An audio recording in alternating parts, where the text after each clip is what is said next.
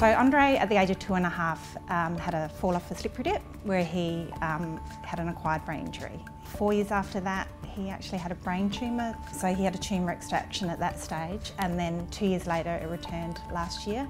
Um, and he had it out again. He's still not um, completely independent. He needs help with um, dressing, often eating, um, getting up and down stairs.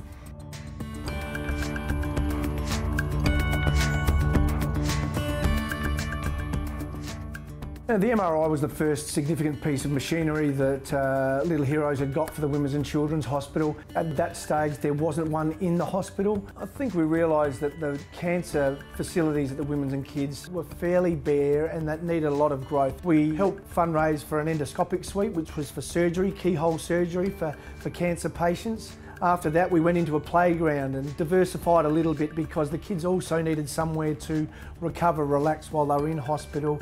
And then from there, the Michael Rice Centre was developed, all cancer facilities at the Women's and Kids under the one roof. My little boy Jed suffers from uh, a rare tumour called a myofibroblastoma. It's quite aggressive and it will always come back every time it's operated on. And I would say sort of once or twice a month we're at the Michael Rice Centre having tests, iron infusions, scans. In the early days we were there every week. Jed was in hospital for six months at one point, non-stop. The facilities there are, are, are top-notch, they're absolutely fantastic. It's a, it's a modern uh, area, everything is brand new, it's fresh, it's, it's much better than any other department um, we've ever been in and had to, had to deal with. And once we thought that the hospital facilities had been upgraded sufficiently, we wanted to look after the families at home and with the day-to-day -day challenges that they faced. Little Heroes Care program was developed to do exactly that, paying urgent bills that were required, looking after meals that might have been required, daily house duties, be they looking after the, the yard or internal cleaning. Alex's playground was developed, putting playgrounds in the backyards of families uh, to look after the children if they couldn't get out to public playgrounds. Ivy has um, epidermolysis bullosa.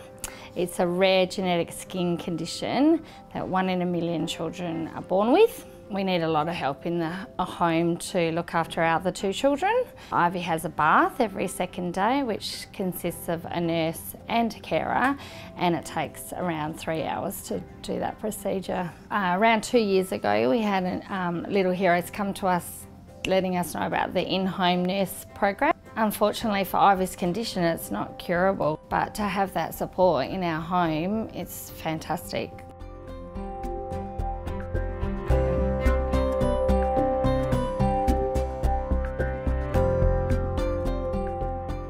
staying on the journey through uh, the cancer rehab was really important to us.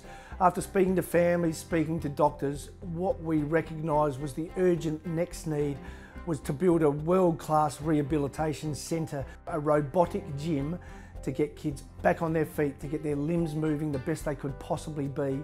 Essentially what robotics can do is allow for a high intensity of what we call repetitive but task-specific training. So this type of technology is required because it allows you to get up to a level of intensity which is going to be helpful for the children with neurological disabilities improve their skills. Equipment such as the Lokomat and Armeo Spring allow children to undertake repetitive movements in a very physiological manner. The Lokomat, for example, which is the walking aid, allows children to have that pattern of walking which is typical and that allows them to get a high level of repetition for it.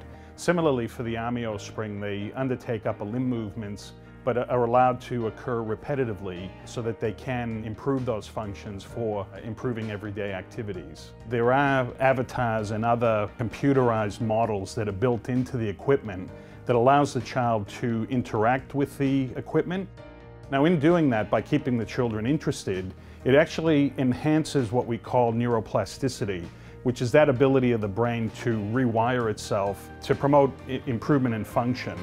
The beauty of the project was that apart from the facility being built and the equipment being put in there, a five-year research program under Ray Russo's guidance could be established as well. There's a lot about robotic technology that we don't know. For example, things as simple as the treatment regimes and how often you need to bring the children in and how much repetition is required for optimal learning is still an unknown factor. I can only speak from brain injuries and they thrive on a lot of therapy. So the more therapy he can get, the better. New equipment would be fantastic for Andre. He loves all those interactive computer games. Um, he'd feel really motivated by that. Um, also, it would really improve his gait and his stamina. Miss Polly have a da sit, sit, sit. And they go for the do it quick, quick, quick. The doctor came his bag and he said, and then I get the door with the red and not at the door of the issue. It's and then Miss Miss Fellowship straight to bed and make up a boo boo boo boo. I'll be back in the morning with my boo boo boo.